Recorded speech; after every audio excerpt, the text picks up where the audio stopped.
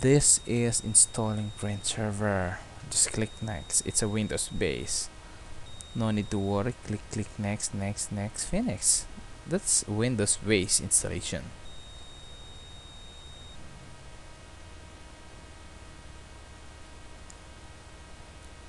Note before you install a print server you have to read the compatibility list on the internet. You can see that one on the web if you're using any brand go to the website of that brand and check the compatibility list of the print server.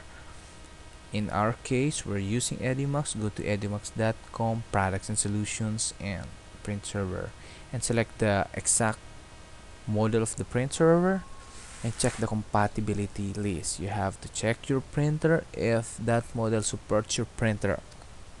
Before purchasing or deciding to purchase a print server.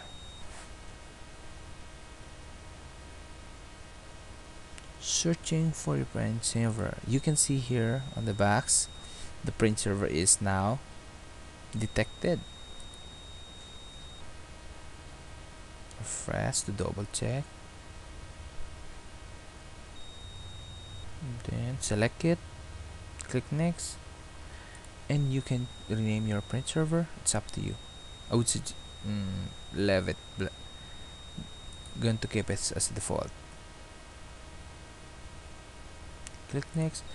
Okay on this area you have to assign an IP for your for this for this print server.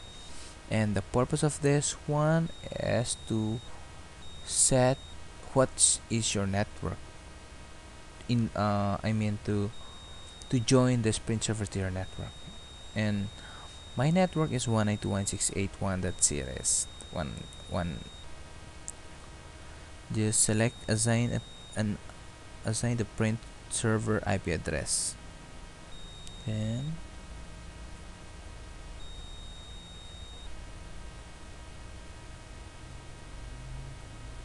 okay. Click next done it's finished